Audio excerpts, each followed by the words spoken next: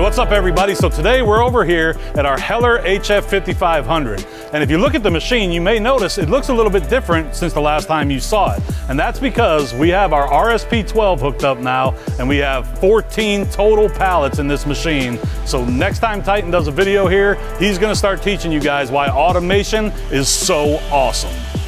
But before he can do that, we have to put some work holding in this machine. So today we're gonna get set up with our Vero S pallet and our new KSX 5-axis vices. So for starters, we have a six station Vero S module pallet here. Now, I love these things, and a lot of people don't really put enough thought into their work holding when they first tool up a machine. Now, this six station Vero S pallet is gonna be the foundation upon which all of our later work holding is gonna be built on. And that's important because we really want a super quick change system here that has high accuracy and high repeatability, and that's exactly what we have here. Anytime we have to take a vice on or off, or we wanna put a bunch of smaller vices, or if we just wanna mount our pull studs directly to our stock, we'll have that versatility on each pallet. All right, so this thing's super easy to use. All you need is an air gun. They actually make a little fitting to do this, but an air gun works just as good. So as soon as we put air into this fitting, you'll see that our little fingers there unclamp. And as soon as we pull the air gun away, it clamps itself back down. Yes, clamping action. Now let's take a look at our KSX vise here. Now this thing is absolutely the best five axis vise on the market. Now you take a look at it and it looks a lot different from most normal vices. You got these two towers here, you got the spindle way up high, the spindle's totally encapsulating the worm screw, and there's numbers on the side here, there's these two bolts. What is all this stuff and what's so great about this vise? Well, first of all, you can adjust these towers to be wherever you want on the rail system.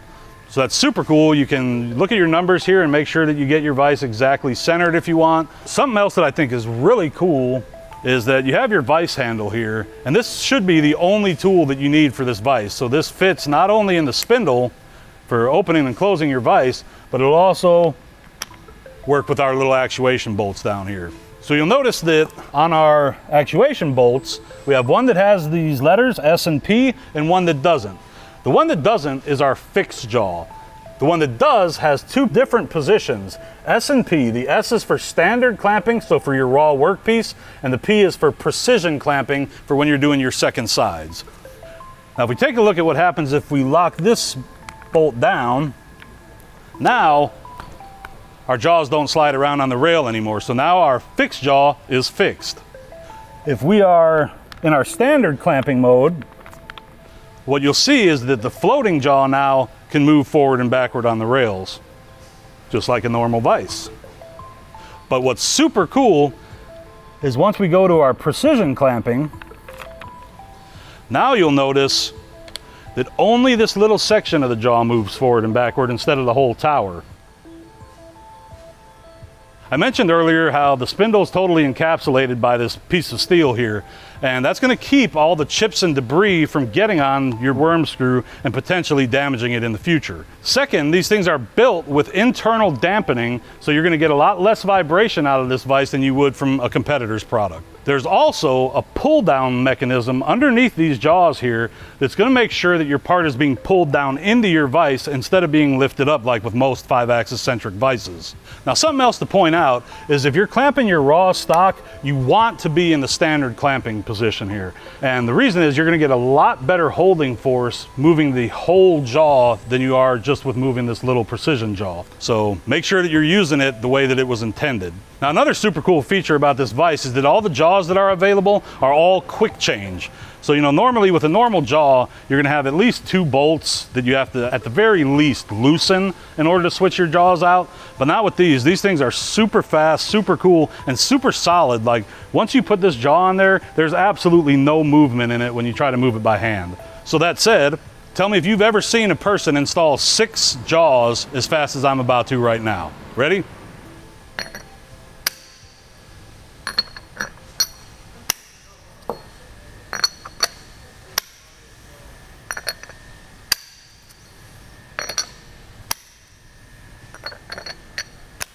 Boom, done.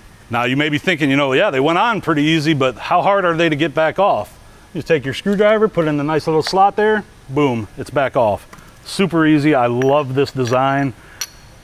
And again, you get no motion when you try moving this jaw around. I feel absolutely nothing clicking around there. It's a super tight, super solid fit. All right, so next up, it's time to clean our table. Now, this is the best machinist stone on the market. Now, how many times have you guys like Googled machinist stone and you get like 800 million results of all kind of stuff you don't even know what it is? Well, we didn't like that either. So working hand in hand with Tyrolit, we came up with this bad boy. We got two layers on this thing and they're both made out of a medium hard vitrified bond, the silicon carbide. On this side, we have our rough side for aggressive material removal. So that's like the berry side of the stone, and that's 120 grit. Then on this side, we have a nice smooth stone. And you know, this is kind of more like the Trevor side here, and that's 320 grit. Now, normally a good precision ground flat stone like this is gonna run you like 150 bucks.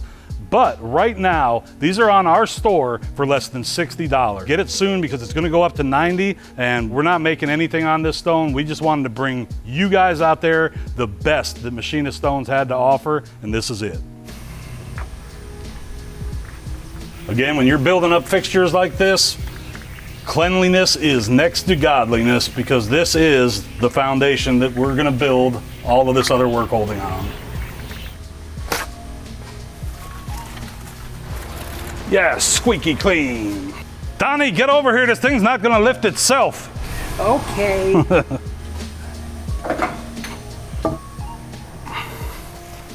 Ain't no pallet dope as me. I'm just so fresh and so fresh and so clean, clean. oh yeah. there you go. Gosh, I love it when the holes in my fixture line up with the holes in my table. Boom. You've got pallet. All right, so now that we got our Vero S pallet installed, it's time to get our pull studs installed on our KSX vices.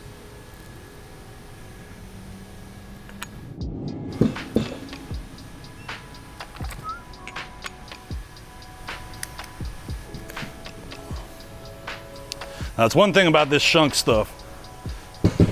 You know something is high quality when it's heavy, and these are high quality.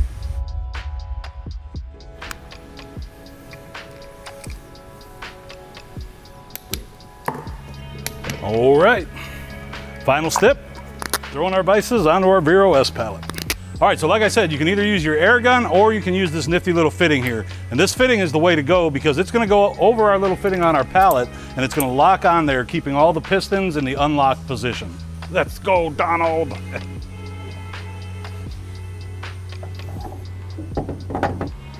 nice.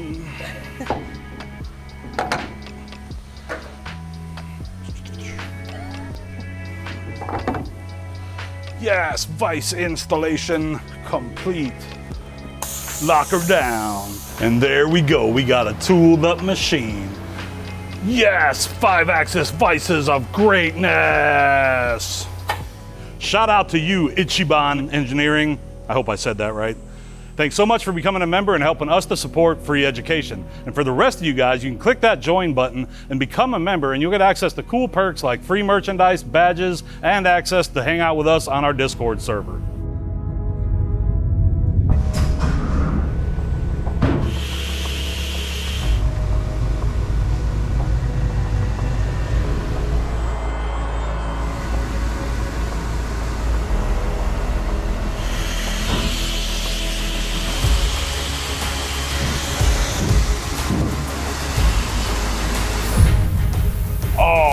Yes. Check that out. Now that is work holding greatness. The very next step is we're gonna go over there and we're gonna saw a piece of material and then Titan's gonna do a video showing you guys some sick stuff. So I hope you guys liked today's video. Please like and subscribe and stick around because we're gonna keep showing you guys how to effectively fixture your machines and how to automate your processes. Thanks and I'll see you guys again next time.